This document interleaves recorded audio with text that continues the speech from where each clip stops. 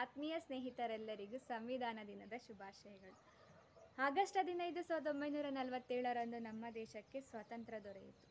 ನೂರಾರು ಸ್ವಾತಂತ್ರ್ಯ ಹೋರಾಟಗಾರರ ಬಲಿದಾನದ ಬಳಿಕವೂ ನಮ್ಮ ದೇಶದ ಸ್ವಾತಂತ್ರ್ಯವನ್ನು ಉಳಿಸಿಕೊಳ್ಳುವುದು ದೊಡ್ಡ ಸವಾಲಾಗಿ ಎದುರಾಗಿತ್ತು ನಮಗೆ. ಮತ್ತೆ ದೇಶದ ಅಧಿಕಾರ ಬಂಡವಾಳಶಾಹಿಗಳ ಕೈಗೋ ಅಥವಾ ಮೇಲ್ವರ್ಗದವರ ಕೈಗೂ ಸೇರುವ ಸಂಭವವಿತ್ತು. ಅಂಥ ಕಠಿಣ ಸಮಯದಲ್ಲಿ ಡಾಕ್ಟರ್ ಬಿ ಆರ್ ಅಂಬೇಡ್ಕರ್ ಅವರು ಎರಡು ವರ್ಷ ಹನ್ನೊಂದು ತಿಂಗಳು ಹದಿನೆಂಟು ದಿನಗಳ ಪ್ರಯತ್ನದ ಫಲವಾಗಿ ಸಂವಿಧಾನವನ್ನು ರಚನೆ ಮಾಡ್ತಾರೆ.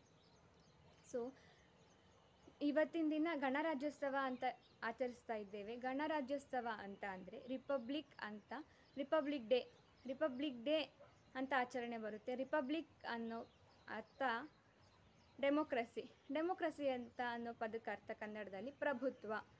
ಗಣರಾಜ್ಯ ಅಂತ ಅಂದರೆ ಗಣ ಅಂದರೆ ಪ್ರಜೆಗಳು.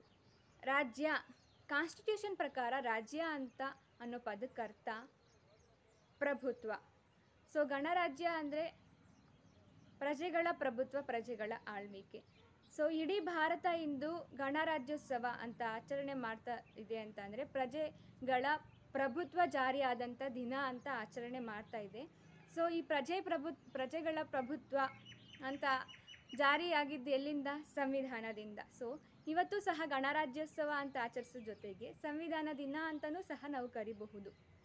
ಯಾಕೆ ಅಂತ ಅಂತ ಅಂದರೆ, ಡಾಕ್ಟರ್ ಬಿ ಆರ್ ಅಂಬೇಡ್ಕರ್ ಅವರು ಅನಾರೋಗ್ಯ ಸಹ ಅವರು ಯಾವುದಕ್ಕೂ ತಲೆ ಕೆಡಿಸ್ಕೊಂಡ್ರೆ ಈ ಭಾರತಕ್ಕೆ ಸಂವಿಧಾನ ಬರಬೇಕು ಅಂತ ತುಂಬ ಕಠಿಣ ಸ್ಥಿತಿಯಲ್ಲೂ ಸಹ ಸಂವಿಧಾನವನ್ನು ರಚನೆ ಮಾಡ್ತಾರೆ.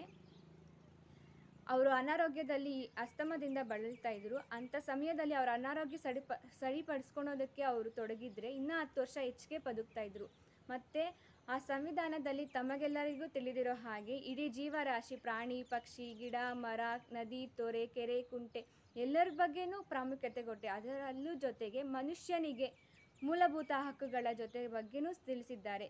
ಸೊ, ನಾವು ಸಂವಿಧಾನ ದಿನ ಅಂತ ಆಚರಿಸೋದು ಡಾಕ್ಟರ್ ಬಿ ಆರ್ ಅಂಬೇಡ್ಕರ್ ಅವರಿಗೆ ದೊ ಸಲ್ಲಿಸುವಂಥ ಒಂದು ದೊಡ್ಡ ಗೌರವ ಅಂತ ಹೇಳ್ತಾ, ಮತ್ತೆ ತಮ್ಮೆಲ್ಲರಿಗೂ ಸಂವಿಧಾನ ದಿನದ ಶುಭಾಶಯಗಳು.